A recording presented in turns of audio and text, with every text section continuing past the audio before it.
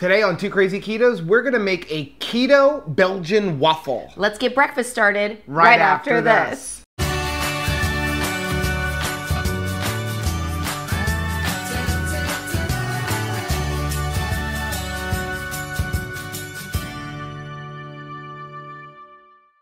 Hey, what's up, family? I'm Rachel. And I'm Joe. And we are Two, Crazy, Ketos. If you're new to our channel, welcome. Here on Two Crazy Ketos, we do different things like product reviews, we do recipe videos, we talk about various keto topics, and then every Monday we sit down on the couch for Keto on the Couch. We just kind of talk about what's going on in our lives for the week. You can find us on different social media platforms like Facebook, Instagram, and Twitter. And we also have a website, which is twocrazyketos.com, and that's where you're going to find all of our different recipes. Now, we do upload at least five new videos every single week, so make sure you subscribe to our channel. and don't forget to hit the little bell icon, and that way, every single time we upload a new video, you'll be alerted to Yeah. it. So, in light of the big chaffle craze that's going on out there, we're going to make a traditional waffle. So you may be sick of anything that's got awful in the rest of the word. However, we've bought the waffle makers, so we might as well use them. Right.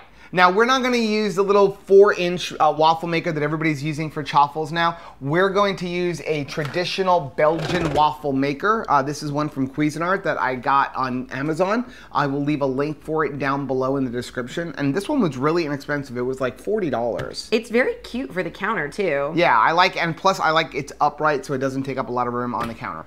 Uh, but now this is, like I said, a traditional waffle, uh, but it's keto version. I love that. And it's super easy to make. How easy is it? It is so easy that even Rachel could make it. Yay! Now, the one thing about this recipe is we are going to use a protein powder. We're going to use a keto chow for it, but you could probably use uh, some of the other protein powders, uh, just maybe a little bit drier. It's going to depend on what kind of protein they have in that protein powder. Uh, but just experiment with the different kinds that are out there. And can you use different flavors of keto chow? Yeah, we're gonna use we're gonna use vanilla today, but I've experimented with this with all of the different flavors, and they all came out the same. Awesome. So you ready to get into this? Yes. Okay, so let's put this to the side. It's all heated up, so it may beep because we've got it plugged in heating up. Here's what we're gonna need. We're gonna need some coconut flour. Okay.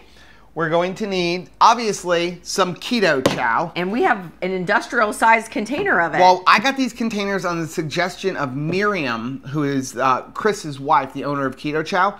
Uh, and these things are awesome because it just like, they're nice and sleek. They fit in your cabinet well. They hold like a bag and a half of it. And I like the fact that they have like this lid that like locks. oh, nice. The lid locks on. So I like that. So again, we have the vanilla kind. We're gonna use some baking powder, Argo. some eggs. There's the beeping. eggs. And then we need some butter. We're gonna use a tablespoon. Now I have already pre-melted a tablespoon to make the video just a little bit quicker. Thank you. And then finally, we're gonna use some liquid sweetener. And this is completely optional. It's just if you wanna have your waffles just be a little bit sweeter. I do. So uh, we're gonna use either Lakanto or you could use liquid stevia. This is kind of our fave. And with the vanilla keto chow, I found what really goes well with it is the Lakanto maple syrup. This stuff goes well on a boot. I could eat a boot with this stuff. It just it gives that waffle a perfect maple syrup taste, and you don't need to have a whole lot of syrup on top of it. It is hands down my favorite sugar-free maple syrup. Like it is the best. Yeah. Your kids won't even know the difference. No, it is really good. I'll leave a link for it down in the description. And that's all we're going to need to get started. awesome. Are you ready? Yeah. Okay, so like I said, we already have pre-melted a tablespoon of butter. Okay. See that in there? I'm gonna get the stuff over here. Now what you're gonna do is two table, uh, one tablespoon of keto chow. The keto chow is this one. One tablespoon is all. One tablespoon. Make sure you level it off. It's going to be about seven to eight grams, depending on the flavor you're using. Okay. Okay. Then we're gonna use a tablespoon of coconut flour. Oh, I just You broke our container. I broke the container, so there's that. Ooh, it's a little clumpy, like that. Well, no, fill it up. There you go. We've got a quarter of a teaspoon of baking powder.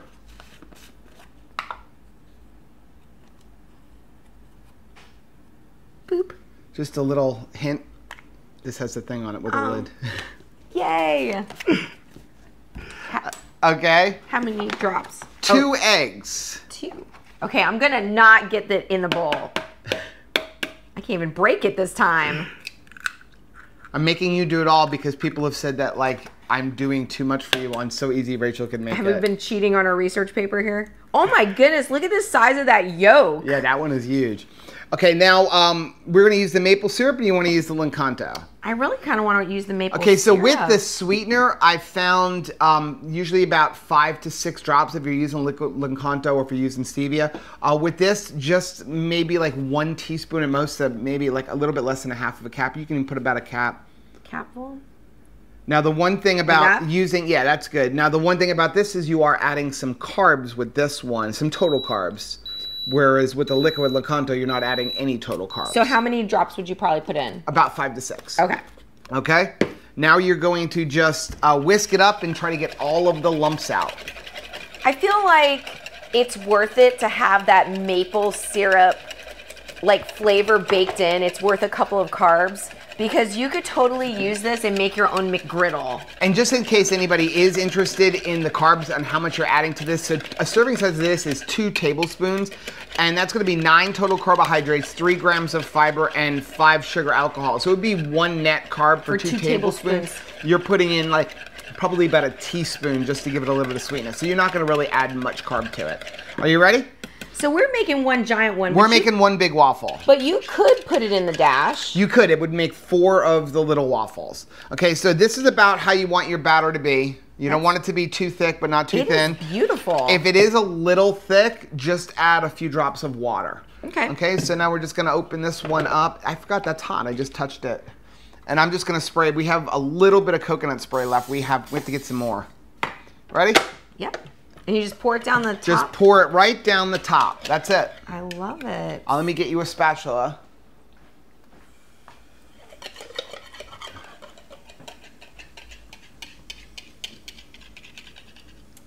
Now with this one here, Don't miss any good drops of deliciousness. with this one here, what it happens is, is you're gonna think you didn't put a lot in there, Uh-huh. and it starts at the bottom and it just keeps rising. If you look inside of there, you're gonna see like, oh my gosh, it's not full. Watch inside of it, and you're gonna see it just keeps rising and rising and rising and rising. Wow, that's kind of cool. So it actually makes slightly more than this if you get the right consistency of the batter.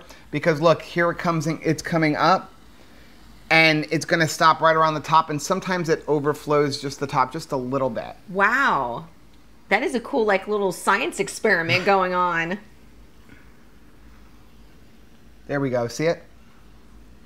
Oh my goodness, it's coming. It's the blob. Remember that movie? The blob. Now we do have this one set on five, so we're going to let it continue heating up and brown and when it's done, we'll come right back. Yay. Okay, so it's, I don't know, been about four or five minutes, Yeah. right? We're gonna open this thing up and you're gonna see, oh, it's got a little nub on the top. It's like a bonus pancake. it it kind of bubbled out the top a little bit, but that's why I like this one because it's not gonna bubble out the sides. is that the part you can share with Tabitha? So we'll just take that piece right off. The Tabitha. so this was a little extra piece. Not gonna be that sad. piece is really good because it's kind of like undercooked. I like that. Oh, let's grab a fork. Well, we can't have a waffle without more butter on top, so I've got some butter over here. We'll do an extra tablespoon, half a tablespoon a piece. Yeah, please. i Put you in there for you. I'll put some over here for me. Do you want more maple syrup? Just a little bit. I'm not a. I'm not huge on having it completely. Well, how about I'll give you a little bit on one. There you And. And you want it on both.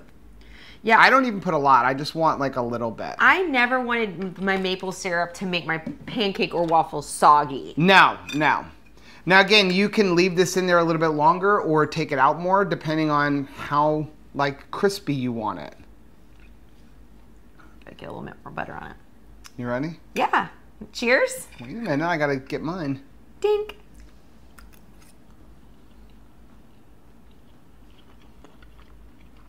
Wow. You honestly cannot tell Nope. that this is like not a standard waffle. No way. Even though I like poured syrup on this, I'm gonna rip this up and kind of take a look at this, guys. You can look, and it is like It is super fluffy inside. bread I don't know if it's like focusing on my face or the waffle, but hopefully it's focusing on the waffle.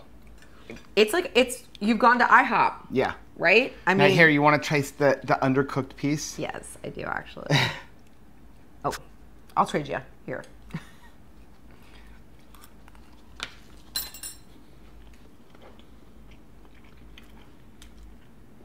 That's so funny.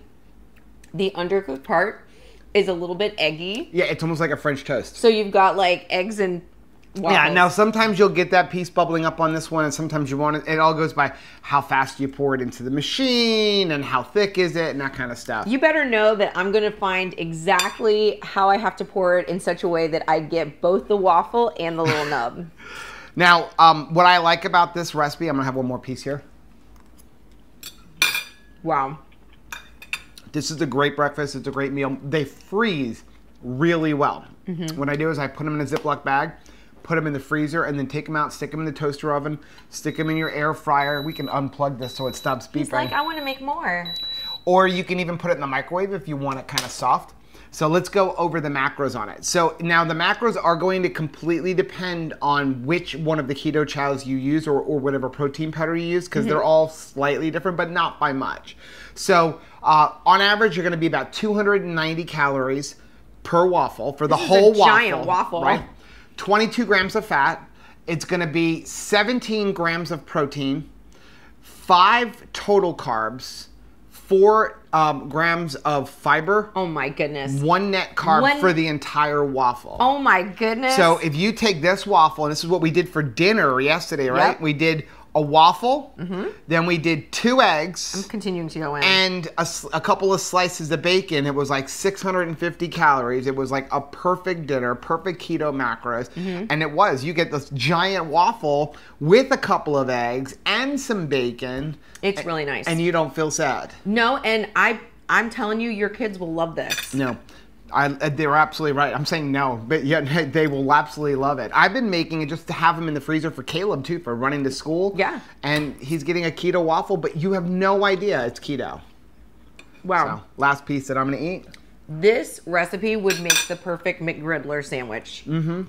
If you use it in a dash. And again, use it in a little dash. You're gonna get four of the waffles. You may even get more depending on how thick you make the batter. Mm-hmm. And yeah, you can make so now you can have, you have two of those. 150 calories. Put some egg inside of it. Put a piece of sausage inside of it. 350, 400 calories for a McGriddle sandwich. The breakfast sandwich is back. Yes. So good job. Yay!